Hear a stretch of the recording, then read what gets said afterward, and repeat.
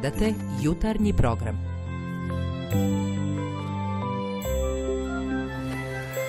Dobro jutro, dobrodošli u jutarnji program. E, Dočekali smo i sneg ove zime i nije loše kada se belina gleda iz toplih soba. Putari su dobili domaći zadatak, deca mogućnost da prave sneška ili da se grudaju, kako to već ide uz dečije radosti. Iako je sneg prilično mokar, jer su temperature oko nule ili čak u plusu. Ostalom slika zavejave Srbije je ono što smo izabrali za početak emisije. Ima nekih sela do kojih se teško dolazi, posebno na Goliji, u nekim delovima Srbije. E, Pojedina mesta su ostajala i bez struje, o tome ćemo govoriti opširnije tokom emisije. Na početku proveravamo kako izgleda jutro u Beogradu i okolini Šapca. Sa nama su Tanja Zindović i Gordana Manjenčić. Tanja, dobro jutro tebi na početku. Ima li nekih izmena u- režimu e, saobraćaja? Dobro jutro. Sneg je prestao da pada i na pojedinim mestima. Naravno ima i leda u ovim ranim jutarnjim časovima zato što je temperatura ispod nule, ali zato javni gradski prevoz saobraća bez izmena i zastoja. Ekipe zimske službe Beograd puta su u trećem pojačanom stepenu pripravnosti i u toku je čišćenje ulica drugog prioriteta. Kolovozi su mokri, trotoari ponegde klizavi, u svakom slučaju neophodan je oprez za sve učesnike u saobraćaju.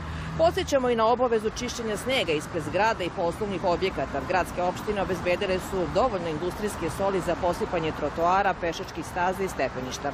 U zavisnosti od opština mogu je preuzeti građani, upravnici stambenih zajednica, zdravstvene, kulturne i obrazovne institucije, a spisak lokacija može se naći na sajtovima opština.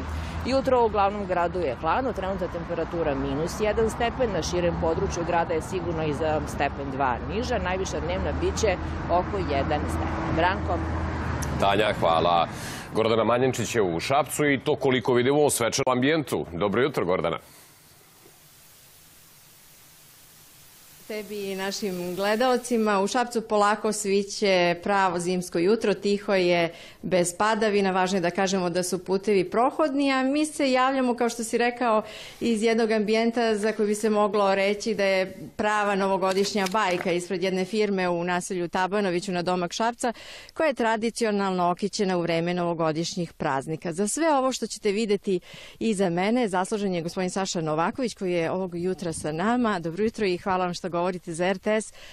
Koliko lampiona ste postavili ovde i koliko je sve to trajalo? Dobro jutro i vama, vašim gledalcima. Pa ovdje ima negdje oko 500 metara lampiona, što u crevu, što sa sjelicama. I to je trajalo postavka negdje oko tri dana, tri radna dana. Ovaj, sa vezivanjem, sa kačinjem, sa priključivanjem na, na mrežu strujnu i to je to otprilike. Šta nam kažu prolaznici? Ove godine nismo imali doček nove godine, neće biti ni organizovanog dočeka srpske nove godine. Međutim, sigurno sam da ljudima mnogo znači kad vide ovako lep ambijent. Ojavljeni, znači e, prolaznici s autima staju, slikaju se, gledaju, dovode decu ovdje da se igraju, da pipaju ove figurice. Ovaj, tako da stvorili smo i nama obavezu neku da svake godine to uradimo. Jer pre, pre praznika oni pitaju kad će biti ponovno ovaj, e, ukrašavanje. Dobro, i sad e, koliko će vremena biti potrebno da se sve ovo skine, raskači, skloni, ostavi za sledeću godinu? Ovaj, pa treba će jedno dva dana raditi da se sve to sloni, da se iseku vezice, da se to spakuje, da se to odnese, da ima i za sljedeću godinu. Hvala vam puno što ste bili sa nama ovoga jutra. Mi ćemo ostati, Branko, još malo ovde da uživamo u ovoj atmosferi, a mi se vidimo ponovo za oko jedan sat. Vidimo sve dogovoreno. Temperature su skoro u svim mestima ispod nule. Najhladnije na Zlatiboru i Koponiku sa minus 6 stepeni i 5 je, minus 5 je na Crnom vrhu. U gradovima između minus 2 koliko je u Somboru, minus 1 u Beogradu, Novom Sadu do nule u Nišu, Leskovcu i Zaječaru. U Negotinu je plus 1 stepen i sada slušamo još jednu Gordanu Stijačić. Kakvi su dani pred nama, kada, do kada će padati sneg i što nas očekuje ove nedelje. I ovog 12. januarskog dana u našoj zemlji pravo zimsko vreme. U većini krajeva ima oblaka ponegde i slabog snega. Tokom dana bićemo pod uticajem ciklona koji se iz oblasti Đenovskog zaliva premešta dalje ka istoku, pa će biti padavina, uglavnom snežnih, u većem delu zemlje. Na jugu moguća kiša.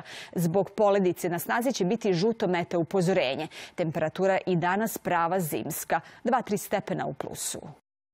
12. januara u Srbiji oblačno i hladno, mestimično sa slabim snegom. Na jugu Srbije ponegde sa kišom. Vetar slab zapadni i severozapadni. Na severu posle podne u skretanju na jugozapadni. Jutarnja temperatura od minus 3 do 0. Najviša dnevna od minus 1 stepen do 2 stepena.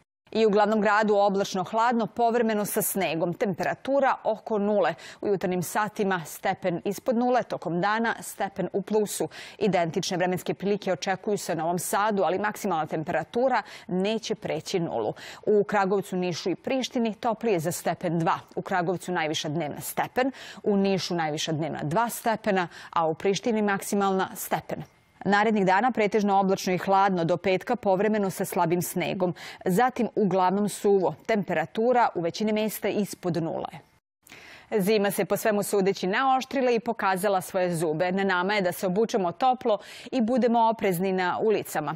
Najviša dneva temperatura danas oko prosječnih vrednosti. U većini mesta oko nule, ponegde do 2 stepena. Kratak pregled tema iz današnje emisije.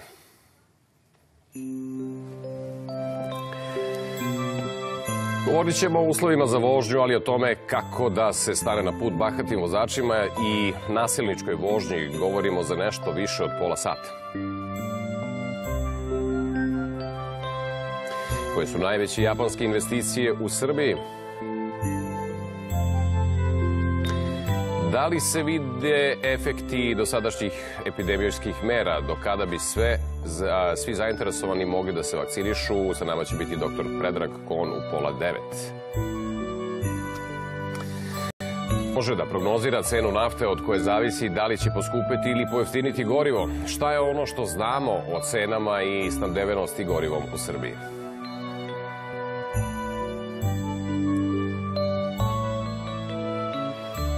Kada sportisti koji su imali koronu mogu da se vrate treninzima? Na šta treneri obavezno treba da obrate pažnju? Koliko sportsko srce u takvom slučaju strada? U našem serijalu Tajne bilja govorimo o prečici, crvotočini ili lisičjaku. I na kraju sa nama će biti maestro Stefan Milenković. Nekoliko tema sa portala RTS-a za ovo jutro. Zbog obilnih padavina poplavljena su domaćinstva na jugu Srbije. Tokom popodneva naglo je porasla Nišava i izlila se u priobalnom delu opštine Dimitrovgrad. Mnoga seoska domaćinstva ostala su bez struje. Vanredna situacija proglašena je u nekoliko opština Nišu, Leskovcu, Doljevcu, Bojniku, Vlasotincu. Evakuisane su 34 osobe iz poplavljenih objekata. Modni magazin Vogue optužen je da je izbeljivao ten američke potpredsjednice Kamale Harris na fotografijama koje će krasiti naslovnu stranu februarskog izdanja časopisa. Još jedna tema na portalu e-uprave otvoren je poseban formular za iskazivanje interesovanja za vakcinisanje protiv COVID-19. Građani Srbije koji žele da se vakcinišu mogu putem tog formulara da odaberu koju vakcinu žele da prime ali da navedu da li imaju neko od hroničnih oboljenja. Za izjavu jutra izabrali smo ono što smo čuli kada je počelo čišćenje Potpećkog jezera od smeća. Slika tona plastike kod brane je uznemirujuća, govori o našim lošim naravima i navikama. Prirodu uništavamo, ali da li preti i radu elektrane?